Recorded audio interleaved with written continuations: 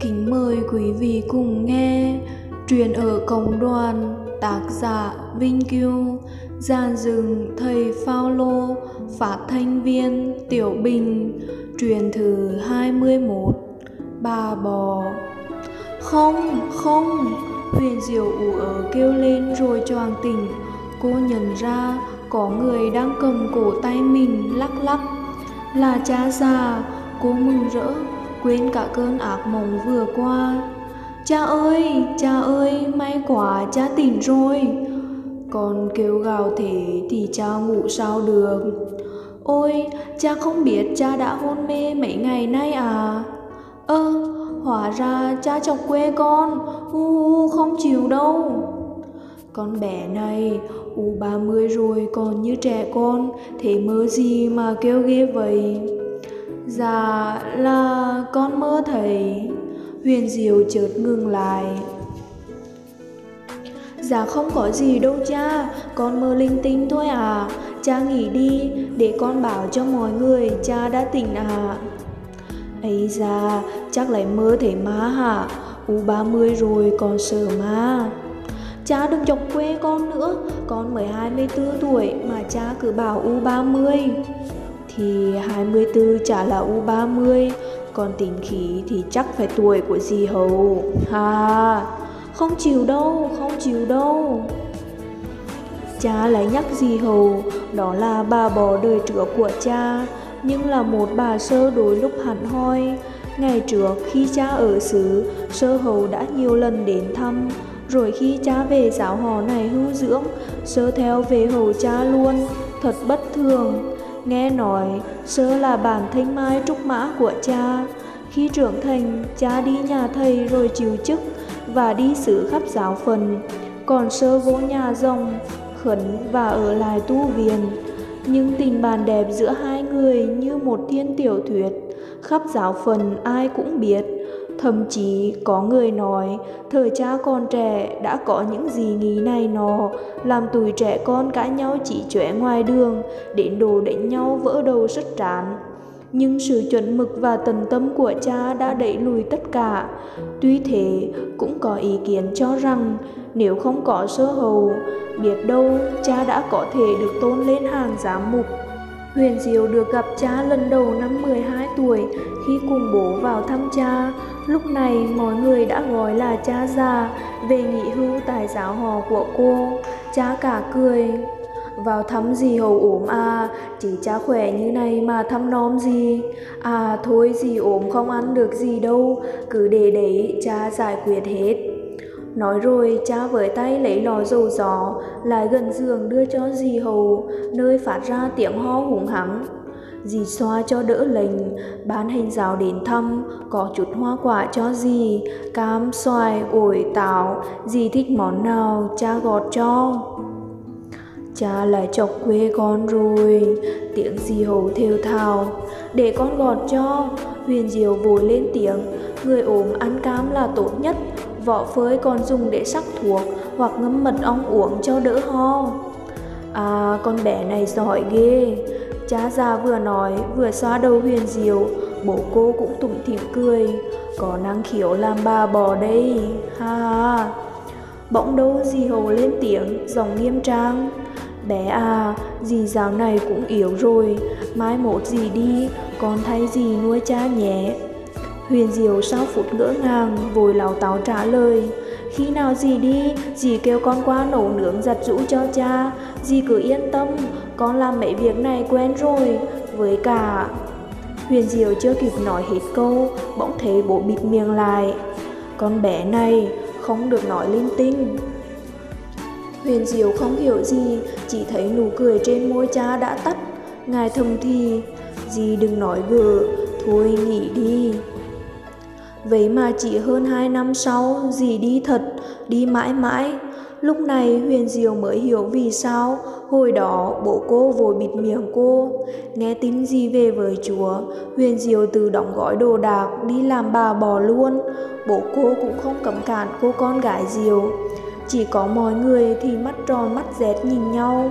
Ba ngày đầu cha đóng cửa phòng, không ra ngoài và gần như không ăn uống gì. Ngài bảo Huyền Diệu nấu ít cơm thôi, đủ cho cô ăn là được, cha không đói. Huyền Diệu biết cha buồn, nhưng cô sợ cha ốm, rồi có khi đi theo dì hầu luôn thì nguy to. Dù cha đã già, chân không vững, mỗi khi cố gắng làm lễ thì lúc giảng, ngài cũng phải ngồi. Nhưng còn cả mục vụ khác như rửa tội, giải tội, hòa giải gia đình, bồi linh, đi kẻ liệt vẫn trong tay ngài cả, vì giáo họ cách nhà xứ cả chặng đường dài. Hơn thế, ai cũng yêu mến cha già, vì ngài rất vui tính, tuy tuổi đã cao nhưng rất minh mẫn.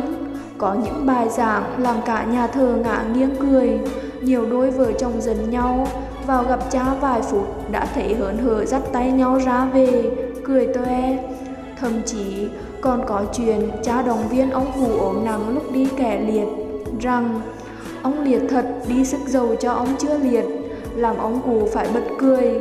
Tưởng đâu bệnh viện trả về, cả nhà đã phải lo hầu sự, ai ngờ còn sống thêm được hơn một năm, mà sống là quan vui vẻ hẳn hoi nhé. Thỉnh thoảng còn vào thăm cha để truyền trò nữa cơ. Vậy nên cha mà có mình hề gì thì không chỉ buồn mà còn ảnh hưởng đến phùng vụ của giáo họ nữa. Huyền Diệu không biết làm thế nào, phải về nhà cầu cứu bố. May bố chỉ cho cô chiêu khổ nhục kế, khóc thật to, kêu là cha chế Huyền Diệu nấu ăn giờ nên cha không chịu ăn. Rằng thế này thì Huyền Diệu không làm tròn lời hứa với dì Hầu. Rằng như vậy thì thôi cô sẽ khăn gói về nhà, không làm bà bò nữa. Thế là cha đành phải chịu nghe. Mặc dù sau đó cha cũng thừa thông minh để hiểu ra vấn đề, nhưng lúc ấy thì đã quá muộn rồi. Ngài chỉ đe, nhớ đấy, nhớ đấy, bữa mô đừng có lên mà chiều lễ nhá. Huyền Diệu ở với cha già mới thấy Ngài không chỉ vui tính mà còn đặc biệt thông minh. Chừng ấy tuổi rồi mà Ngài vẫn dạy cho cô học ngon lành, đặc biệt cả môn xã hội. Cô thi đỗ Đại học Khoa học Xã hội và Nhân văn với số điểm cao là công lớn của Ngài. Cô đi học rồi, nhiệm vụ của bà bò phải chia ra làm hai. Em trai vào ở và kiến thức cho cha, còn mẹ thì nấu nướng và giặt rũ cho cả hai người nhưng Huyền Diệu vẫn không yên tâm lắm. Mỗi dịp Tết, hè, cô chẳng về nhà mà về thẳng nhà thờ luôn. Những lần đó cô thường bị cha chọc quê. Trên đời này dài nhất là những đứa mang sách vợ về nghỉ Tết, nghỉ hè. Ngẫm lại, Huyền Diệu thấy đúng, quả là mang đi mang về nặng mà chẳng học được chữ gì, nhưng vẫn cứ dài mãi. Vậy nên, U30 rồi vẫn bị cha già cười chê như thường. Khi cô ra trường thì cha già đã yếu đi nhiều, ngài bị tai biến, liệt tay trái, chân phải, bác sĩ bảo là biến chứng của bệnh tiểu đường, chắc cũng không sống được bao lâu. Huyền Diệu vội về, cô muốn chăm sóc cha nốt những tháng ngày còn lại nơi dương thế, rồi xin đi làm cũng chưa muộn. Với cả bạn trai cô, Điệp, đang du học Hàn Quốc, có muốn cưới nhau cũng phải vài ba năm nữa, lúc đó bổn phần chắc cũng đã chu toàn. Nhưng cuộc đời trẻ ngoe, Điệp bất ngờ có ơn gọi, anh thi đỗ trúng viện ở Hàn Quốc. Huyền Diệu ngỡ ngàng, cô yêu Điệp bằng tình yêu nam nữ thực sự, mơ về ngôi nhà và những đứa trẻ, chứ không mong một ngày làm bà bò cho anh. Mấy ngày liền cô không thiết gì ăn uống, việc của bà bò lại chia đôi như ngày cô học đại học. Mãi đến khi cha già đến thăm, ngài không nói gì, chỉ để lại một màu giấy nhỏ. Huyền Diệu chán chăm cha rồi chi. Huyền Diệu không nhìn được cười, dù miệng méo sạch, nước mắt giàn rùa, nhớ chuyện xưa, lại khăn đùng khăn gói đến nhà phòng. Mấy ngày này cha hôn mê, ngày nào Huyền diều cũng ngủ gục bên giường ngài. Cô vừa mơ một giấc mơ Huyền diều. Trong giấc mơ, cô đã theo chân dì hầu gia nhập nhà dòng với mong ước lịch sử sẽ lặp lại. Nhưng trở trêu thay, ở một đất nước mà đào tinh linh là phổ biến, Điệp đã cải đào và trở thành mục sư. Anh làm vậy để tròn nghĩa vẹn tình, vừa đáp ứng ơn gọi lại vừa có thể rửa huyền diệu vào nhà thờ. Nhưng khi anh về, huyền diệu đã khẩn tròn đời rồi. Giấc mơ đó liệu huyền diệu có dám kể với cha già hay không?